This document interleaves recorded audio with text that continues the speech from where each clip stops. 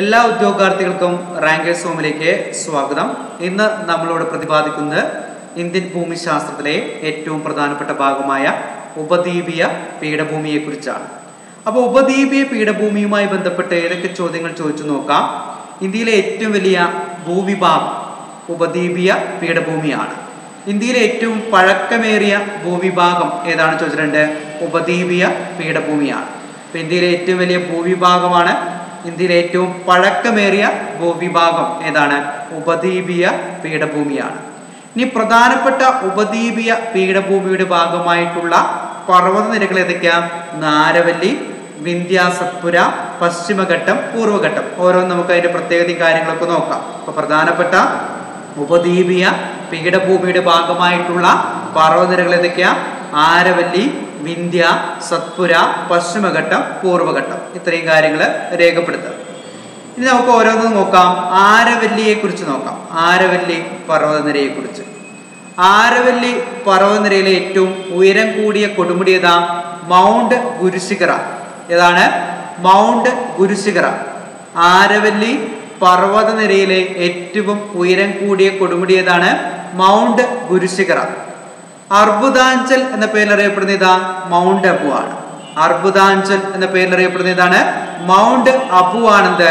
അർബുദാഞ്ചൽ എന്ന പേരിൽ അറിയപ്പെടുന്നത്. ഇന്ത്യയിലെ ഏറ്റവും പഴക്കമേറിയ മടക്ക് പർവതം. ഇന്ത്യയിലെ ഏറ്റവും പഴക്കമേറിയ മടക്ക് പർവതമാണ് അതുപോലെ തന്നെ ദിൽവാര ക്ഷേത്രം. മൗണ്ട് അബുവിലാണ് ദിൽവാര ക്ഷേത്രം. അജ്മീർ ഹാൽഡിഗട്ട് ചുരം ഇതൊക്കെ ചെയ്യുന്നവിടെയാണ് ആരവലിയിലാണ്. അപ്പൊ ഇന്ത്യയിലെ ഏറ്റവും പഴക്കമേറിയ മടക്ക് പർവതമാണ് ദിൽവാര ക്ഷേത്രം എവിടെയാ? മൗണ്ട് അബു അജ്മീർ ഹാൽഡിഘട്ട് ചുരം ചെയ്യുന്ന എവിടെയാണ്? ആരവല്ലിയിലാണ് കേട്ടോ അത് രേഖപ്പെടുത്തി വയ്ക്കാം ഇനി നമുക്ക് നോക്കാം. ഇനി നമുക്ക് വിന്ധ്യ സത്പുര നിരകളെ കുറിച്ച് നോക്കാം കേട്ടോ. വിന്ധ്യ സത്പുര നിരകൾ ഇന്ത്യൻ ഉപഭൂഖണ്ഡത്തെ വടക്കേ ഇന്ത്യ തെക്കേ ഇന്ത്യ വിഭജിക്കുന്ന പർവത നിര ഏതാണ്? വിന്ധ്യ നിരകളാണ്. ഇന്ത്യൻ ഉപഭൂഖണ്ഡത്തെ വടക്കേ ഇന്ത്യ എന്നും തെക്കേ ഇന്ത്യ ഇതൊക്കെ വിഭജിക്കുന്ന ഏതാണ്? വിന്ധ്യ നിരകളാണ്.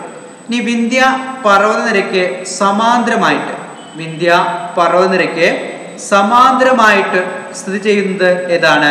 സത്പുരയാണ്. വിന്ധ്യ പർവതനിരയ്ക്ക് സമാന്തരമായിട്ട് സ്ഥിതി ചെയ്യുന്നത് ഏതാണ്? സത്പുരയാണ്.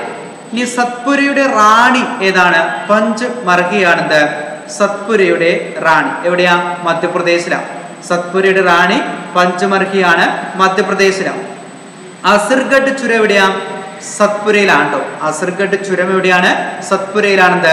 അസിർഗഡ് ചുരം. ഇനി നമുക്ക് അടുത്ത് നോക്കാം. സത്പുര പർവനിരയിലെ ഏറ്റവും ഉയരം കൂടിയ പർവതം ധൂപ് ഗാർ ഇതാണ് ധൂപ് ഗാർ സത്പുര പർവനിരയിലെ ഏറ്റവും ഉയരം കൂടിയ പർവതം ഏതാണ്?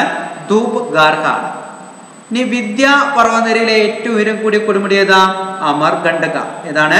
അമർ ഗണ്ഡക കേട്ടോ വിന്ധ്യ പർവനിരയിലെ ഏറ്റവും ഉയരം കൂടിയ കൊടുമുടി ഏതാണ്? അമർ ഇനി പശ്ചിമഘട്ടത്തെ കുറിച്ച് നോക്കാം. ഗുജറാത്ത് മഹാരാഷ്ട്ര ഗോവ കർണാടക തമിഴ്നാട് കേരളം എന്നീ സംസ്ഥാനങ്ങളിലൂടെ പശ്ചിമഘട്ടം കടന്നു പോകും ഗുജറാത്ത് മഹാരാഷ്ട്ര ഗോവ കർണാടക തമിഴ്നാട് കേരളം എന്നീ സംസ്ഥാനങ്ങളുടെ പശ്ചിമഘട്ടം കടന്നു പോകുന്നുണ്ട് ഡക്കാൻ പീഠഭൂമിയുടെ പടിഞ്ഞാറേ അതിർത്തി ഏതാണ്? പശ്ചിമഘട്ടം. ഡക്കാൻ പീഠഭൂമിയുടെ പടിഞ്ഞാറ് അതിർത്തി ഏതാണ്? പശ്ചിമഘട്ടമാണ്. പശ്ചിമഘട്ടത്തിലെ ഉയരം കൂടിയ കൊടുമുടി ഏതാ? ആനമുടിയാണ് പശ്ചിമഘട്ടത്തിലെ ഉയരം കൂടിയ കൊടുമുടി ഏതാണ്? ആനമുടിയാണ് ഇനി പൂർവഘട്ടത്തെ കുറിച്ച് നോക്കാം. പൂർവഘട്ടവുമായി ബന്ധപ്പെട്ട് എന്തൊക്കെയാ നോക്കാം? ബംഗാൾ ഉൾക്കടലിന് സമാന്തരമായിട്ട് കാണപ്പെടുന്ന പർവതനിര ഏതാണ്? പൂർവഘട്ട ബംഗാൾ ഉൾക്കടലിന് സമാന്തരമായിട്ട് കാണപ്പെടുന്ന പർവതനിര ഏതാണ്? പൂർവഘട്ടമാണ് ഇനി പൂർവഘട്ടത്തിലെ ഏറ്റവും ഉയരം കൂടിയ പർവതം ഏതാ? ചിന്താഗാഡ പൂർവഘട്ടത്തിലെ ഏറ്റവും ഉയരം കൂടിയ പർവതം ഏതാണ്? ചിന്താഗാഡയാണ് അതുപോലെ തന്നെ ബംഗാൾ ഒഡീഷ. ബംഗാൾ ഒഡീഷ ആന്ധ്രാപ്രദേശ് തമിഴ്നാട് എന്നീ സംസ്ഥാനങ്ങളിലെ പൂർവഘട്ടം ചെയ്യുന്നുണ്ട്. എവിടേക്കാണ് ബംഗാൾ ഒഡീഷ ആന്ധ്രാപ്രദേശ് തമിഴ്നാട് എന്നീ സംസ്ഥാനങ്ങളിലെ പൂർവഘട്ടം സ്ഥിതി ചെയ്യുന്നു. ഇനി പശ്ചിമഘട്ടവും പൂർവഘട്ടവും തമ്മിൽ ബന്ധിപ്പിക്കുന്ന എവിടെയാ? നീലഗിരിയിലാണ് പശ്ചിമഘട്ടവും പൂർവഘട്ടവും തമ്മിൽ ബന്ധിക്കുന്ന എവിടെയാണ്? നീലഗിരിയിലാണ് കേട്ടോ അതും രേഖപ്പെടുത്തി വയ്ക്കാം ഇനി ലോകത്തിലെ ലോകത്തിലെ ഏറ്റവും വലിയ ലാവ പീഠഭൂമി. കോമൺ ആയിട്ട് എല്ലാവർക്കും അറിയാം ഡക്കാൻ പീഠഭൂമിയാണ്. ലോകത്തിലെ ഏറ്റവും വലിയ ലാവ പീഠഭൂമി ഇതാണ് ഡക്കാൻ പീഠഭൂമിയാണ്. ഡക്കാനിലെ രാജ്ഞി ആരാണ്? പൂനെയാണ്. ഡെക്കാനിലെ രാജ്ഞി എന്ന പേരിൽ അറിയപ്പെടുന്ന ഇതാണ് പൂനെയാണ്. ഇനി ഇന്ത്യയുടെ ധാതു കലവറ ഏതാ? ഛോട്ടാ നാഗ്പൂർ പീഠഭൂമിയാണ്. ഇന്ത്യയുടെ ധാതു കലവറ എന്ന പേരിൽ അറിയപ്പെടുന്ന ഇതാണ് ഛോട്ടാ നാഗ്പൂർ പീഠഭൂമിയാണ്. ഇനി ചോട്ടാ നാഗ്പൂർ പീഠഭൂമിയിലൂടെ ഒഴുകുന്ന പ്രധാന നദി ദാമോദര. ചോട്ടാ നാഗ്പൂർ പീഠഭൂമിയിലൂടെ ഒഴുകുന്ന പ്രധാനപ്പെട്ട നദി ഏതാണ്? ദാമോദര. വിന്ധ്യ പർവതത്തിനും ആരവല്ലി നിരകൾക്കും ഇടയിൽ ചെയ്യുന്ന പീഠഭൂമി ഏതാ? മാൾവ പീഠഭൂമിയാണ് കേട്ടോ വിന്ധ്യ പർവതത്തിനും ആരവല്ലി നിരകൾക്കും ഇടയിലെ ചെയ്യുന്ന പീഠഭൂമി ഏതാണ്? മാൾവ പീഠഭൂമിയാണ്. അപ്പൊ ഇത്രയും കാര്യങ്ങളാണ് ഉപദ്വീപീയ പീഠഭൂമിയുമായി ബന്ധപ്പെട്ടുള്ളത്. പ്രധാനപ്പെട്ട ചോദ്യങ്ങളാണ്. ഉദ്യോഗാർത്ഥികൾ ആവർത്തിച്ച് ആവർത്തിച്ച് പഠിക്കുവാണ് ചെയ്യേണ്ടത്. താങ്ക്